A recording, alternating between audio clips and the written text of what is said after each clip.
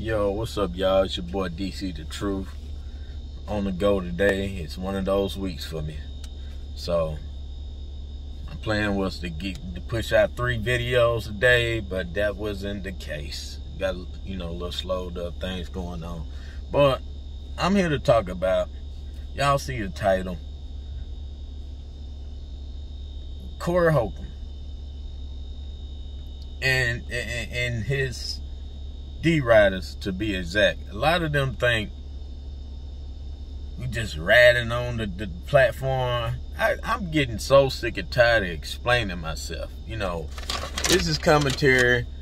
What we're doing is no different from Darlene's loose talk about bullshit, but we got some productivity to add to it. Now, before the D riders get over here, half of y'all niggas in wheelchairs and y'all gonna come over here DC, you keep making content about the man, so you hating on him. Shut your bitch ass up, man. The root issue to this problem is most of us know what the 5150 show was. The balance it brung, the intelligence it brung. Okay, Let's just tip it out. We'll use Bobby, for example. Bobby is a real intelligent, deep brother. These motherfuckers in my video. Sorry, I, I had to go ahead and pull off. I know it ain't the safest, but fuck, you know, my damn neighbors, they, I, I think they know I film or whatever. So a lot of them be trying to get airtime. Maintenance nigga, all them. But anyway, I'm gonna forgot what I was talking about. But back to Bobby. Even him, Bobby was a real intelligent brother. He brought a lot of wisdom in my in my factual opinion. That was Bobby, you know. Bobby had a lot of experience, you know, being older. He could touch on a whole lot of things. Then you had a, you know, the guy you got my guy Zo Williams, which was a lot deeper. You, I mean, it, it, it's amazing. This, this this man had like an encyclopedia brain. So any topic these guys talk about, whether it's religion, uh, whatever, Zo can break that down and it bring balance to it. So now what you have now is, okay, you got a bunch of people joking. The joke, like I say, ain't nothing wrong with a good laugh on uh, on there, but see, this is this is the problem with. It's almost like me on here. Uh, uh, well, this is a problem. If you you build your brand a certain type of way, and then it's pretty much a lot of people are not gonna like those type of changes or whatever.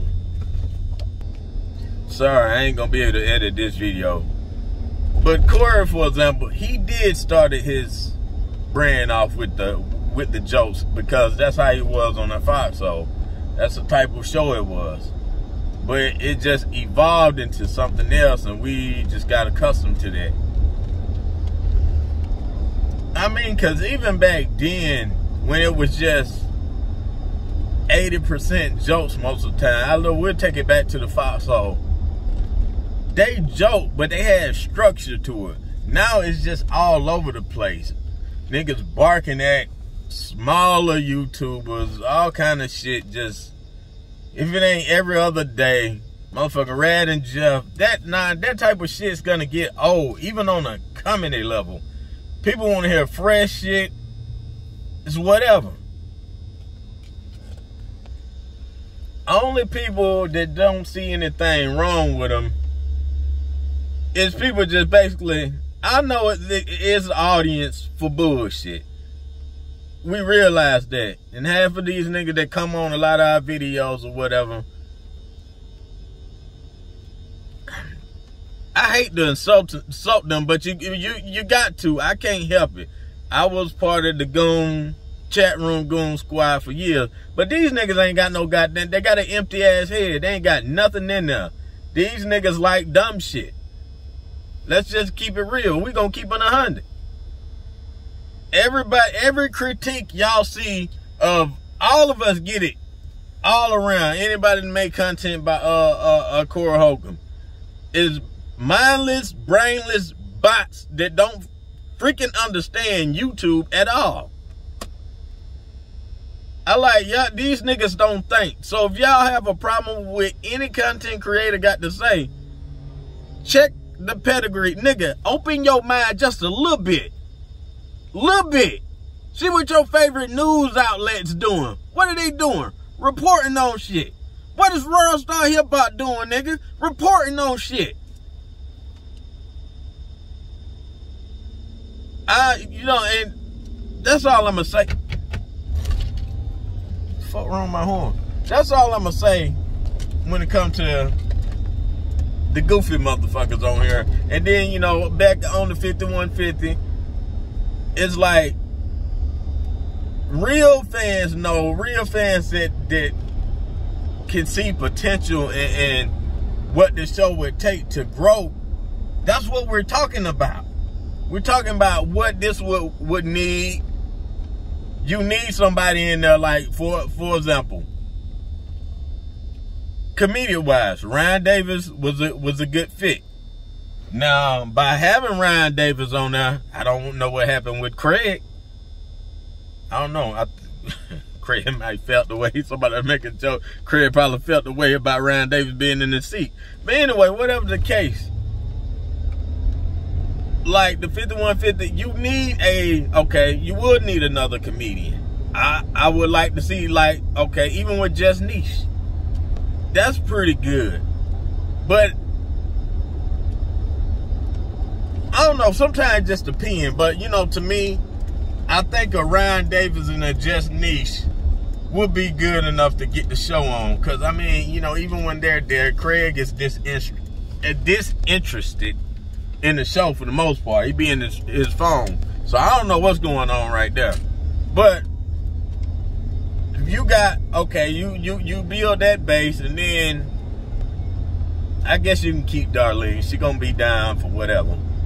And um you just you need another brother like when y'all talk about this is what kept 5150 kind of you know in, intact that's why Zo, you know Zo was the balance towards it all the time because we, we be like, man, this nigga Corey, you know, as I start evolving, I'm like, man, this nigga Corey ignorant, man. Zo, please correct this motherfucker. Um, you don't have that anymore. So what you're gonna have to have is somebody that has a little intelligence or whatever, depending on the topics they're talking about, to kind of, hey, wait, all right, yeah, this, this cool, this funny or whatever, Corey. But hey, hold on, let me add this to it this is what's missing. You get that a little bit with Ryan Davis. You know, Ryan Davis, like I say, he's a very intelligent comedian. Very intelligent brother. Like I say, you know, me and him around the same age, so you might need some of that. So, man, this this gonna be it for this video, man. It's your boy DC the Truth. I'm out of this thing. I had to give y'all something while I'm on the go, man. For real.